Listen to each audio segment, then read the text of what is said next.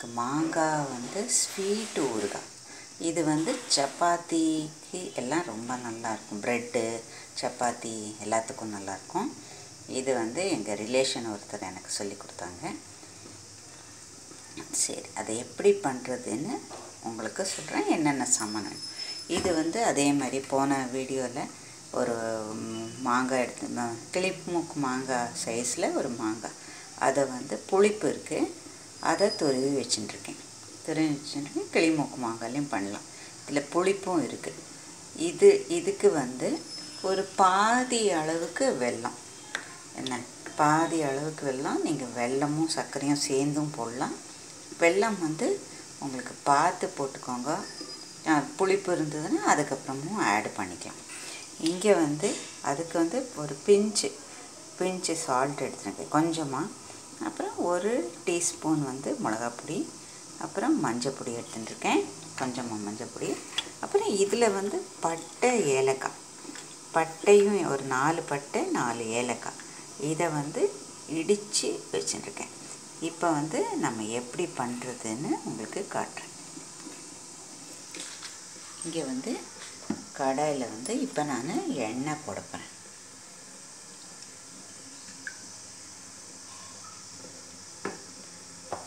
எண்ணெய் போட போடுறேன்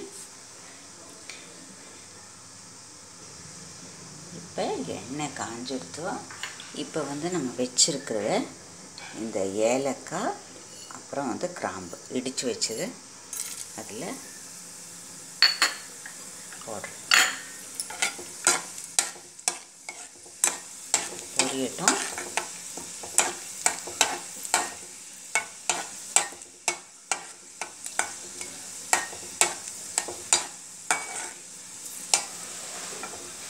பொரிஞ்சிடுத்து பொரிஞ்சப்புறம் நம்ம வந்து இந்த மாங்காய் மாங்காவை செடி வச்சுருக்கோம் இல்லையா?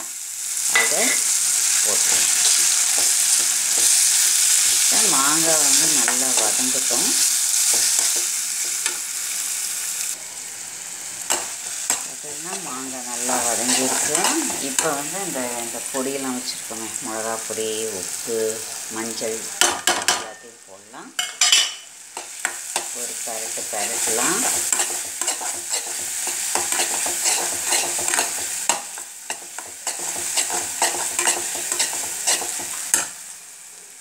எண்ணெய் வந்து ஒரு ரெண்டு மூணு ஸ்பூன் போட்டுக்கோங்க போதும். அப்புறம் இந்த வெள்ளத்தை போடும் வெல்லம் போட்டு நல்லா கரைஞ்சி கொஞ்சம் திக்காகும். இல்லை ரொம்ப திக்கானா அப்புறம் வந்து உங்களுக்கு நல்லா இருக்காது. ஜாம் பதத்துக்கு வரும். நான் எவ்வளோ ஜாம் பதம் வருதுன்னு பார்க்குறேன். இப்போ பார்த்தீங்கன்னா நல்லா அந்த வெள்ளமும் இதாகிடுச்சு இவ்வளோ லூஸ் இருந்தால் போகிறோம் உங்களுக்கு பாருங்க எப்படி இந்த ஷைனிங் வருது இல்லையா? அதில். அவ்வளோ இருந்தால் போகிறோம் பாருங்க இதை வந்து ஸ்டோர் பண்ணி வச்சுட்டேன்னா ஒரு வருஷம் கூட கெடாது. அவ்வளோ நல்லாயிருக்கும் சப்பாத்தி. நான் சொன்ன குவான்டிட்டிக்கு நீங்கள் நிறைய பண்ணிக்கோங்க. வேணால் வச்சுட்டு நிறைய பண்ணிட்டு இந்த மாதிரி ஆனால் இந்த மாதிரி இருக்கணும். அப்போ தான் நல்லாயிருக்கும் இதை பாருங்கள் முடிச்சாச்சு. எவ்வளோ நல்லா இருக்கு பாருங்கள் சப்பாத்தி ப்ரெட்டு குழந்தைங்களுக்கு எல்லாம் ரொம்ப பிடிக்கும் இது. நீங்கள் இது பண்ணி பார்த்துட்டு எனக்கு உங்கள் கமெண்ட்ஸை எழுதுங்க. Thank you from கேசுபாங்க